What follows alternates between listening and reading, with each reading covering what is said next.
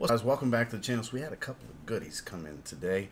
Most notably, upcoming release that surprisingly, and I mean surprisingly, was under retail early. Like for over a week now. Under retail well before release. You saw them in the thumbnail. Got the Olympic sixes. Let's kick it.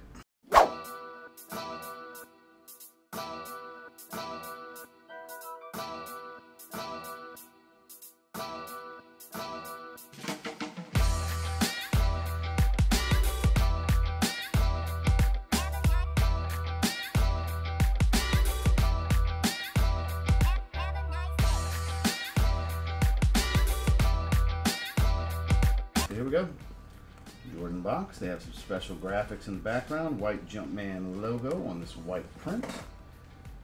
Got the Jordan 6 flip top style box. As you can see, Air Jordan 6 Retro White Varsity Red. So a little more to it than that, but you can see that same print on the navy blue base portion of the box. Here we go. The same print is on the wax paper. I did scoop these up from Goat early. So let's check these beautiful things out together. Double wax paper. Chappelle. Here we have it. One of what has become one of my favorite silhouettes, the bricks, known as the Jordan Retro 6. So beautiful Olympic colorway. The Olympics are going on right now.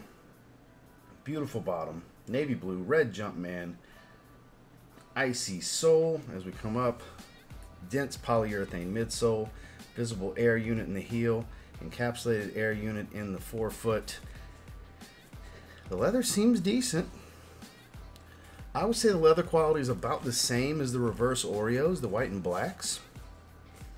As far as squeezing and everything, there's a there's they're not super soft. It's a tumbled leather look, and you can see the shape to the toe box because if you've seen the images, if you haven't owned the previous versions in the past, the toe box shape has been boxy, it's been slimline, it's been very different. This is closer to the original, and I want to say the second, the first retro, where it's more of a slimline toe. I do like that slimline look. It's better than that boxy looking one that I, I didn't own, but I saw the image and I was like, whew, I'm glad it doesn't look like that. But um, decent cut, looks like a split grain leather. As I look at everything, toe down view is money. These are fresh. I like that navy toe with the white overlays. As we look at the lateral side, you can see that same white tumble leather overlays with navy blue tumble leather underneath as we come around. Get the thick padding, big navy blue spoiler slash pull tab, Nike, I mean Jordan Air logo on the back in red because it's not an original colorway because the Olympics were the sevens which I know a lot of people would like to come around again. Hey, I mean, I'd be down for those too. Here we go, medial side. More of the same. As we look down, you have, I actually love this neoprene uh, kind of lace keeper of some sort. I forgot the official name for it, but neoprene with the embroidered Jumpman logo. You got the red lace lock and then the kind of oval style laces. I do like these laces, gotta say. And as we come up the top, the tongue, the big bulky gigantic tongue one of the best parts of the six. This big rubberized tongue says Air Jordan up top, and then uh, I'm confident it's going to be a Dream Cell insole. I almost would say I would bet money on it with plush, like a nylon cotton blend for the uh, the liner here. So let's grab this insole. Yeah, feeling that. That's definitely Dream Cell. Indeed, it is navy blue sock liner, white Jumpman that will rub off after probably two wearings max. I would say it all depends. And then we got that plush, thick, squishy Dream Cell. Um, you know, not as good as polyurethane, but way better than cheap EVA. So kind of the middle ground when it comes to standard insoles that come with these, these Jordan releases. Here you can see the board last. Let me fold that tongue down. You can see the board last on the inside. No Strobel. Just that stiff board last that rock hard. You ain't feeling no air soles. I mean, that is. Hear me flicking it? Then rock hard. I mean, comfort was not a thing back then. It was 91? the 6 came out? 90, 91, something like that. I don't remember specifically. I, I should look that up. That's some pretty important information when talking about these sneakers. Um, it's a 2024 retro release. I'm going to say this is the fourth time these have retroed.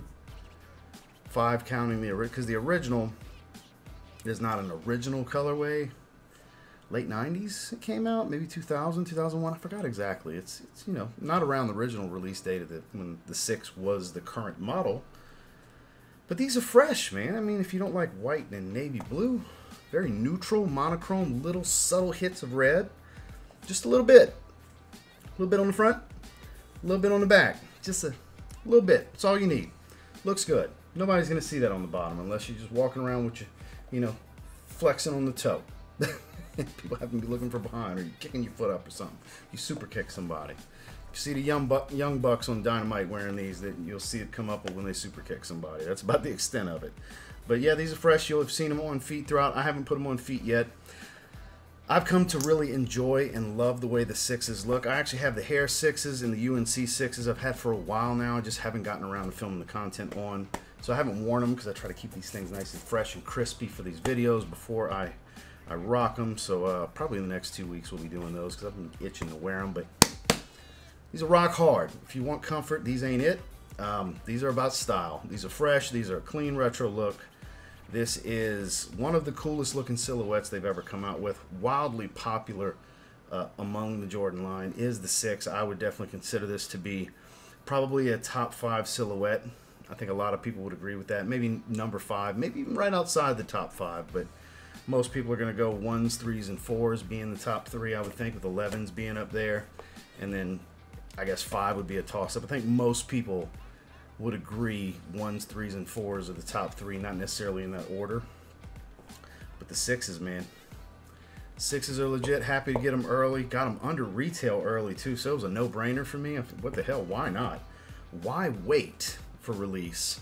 If they're already like 30 bucks below retail, I paid like 180, 185 or something before shipping. So, yeah, goat check them out if you're interested in going ahead and grabbing them if you don't want to bother waiting on the sneakers app for retail because you can get them below retail. Why buy them from Nike for retail if you can get them for cheaper than that before they even release? They are authentic, they are legit. So make sure to like, comment, subscribe before you leave the video. I'll catch you on the next one.